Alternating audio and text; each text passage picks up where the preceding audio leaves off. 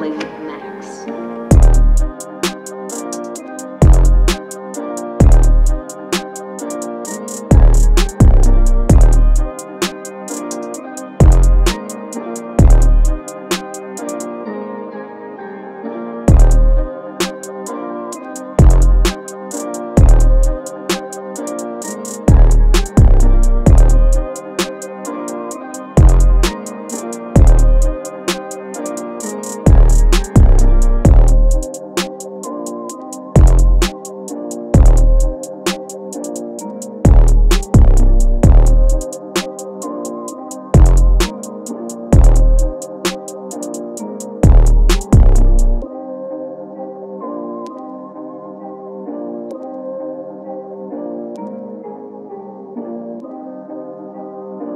though she's fully here now, and only